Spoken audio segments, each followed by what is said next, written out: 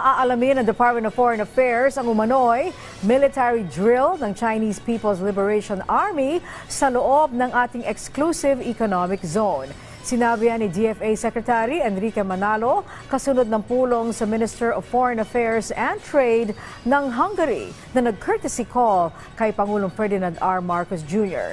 Nagbabalik si Kenneth Pasyente sa sentro ng balita. Mas malalim na ugnayan sa pagitan ng Pilipinas at Hungary.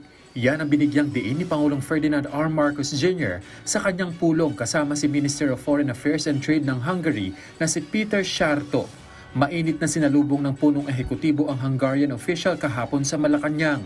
Sa courtesy call, ipinahatid ng Pangulo ang kagustuhan at kahandaan ng Pilipinas sa mga bagong partnership kasama ang Hungary para sa mas matibay na economic ties sa pagitan ng dalawang bansa.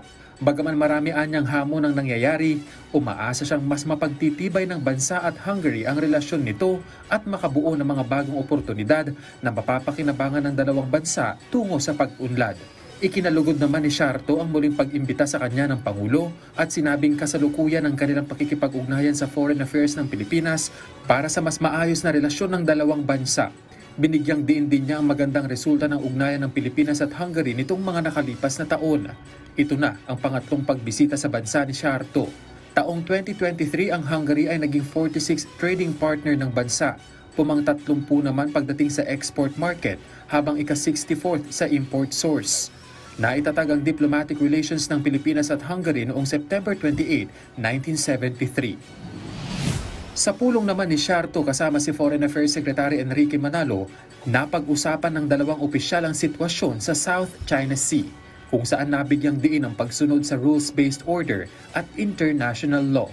Well, it's important because Hungary is a member of the EU, and uh, they have indicated that they support our uh, efforts at uh, resolving any disputes or differences through international law and through the respect of rules-based order. That's the only way that you can resolve things peacefully and through diplomacy by recognizing our rights.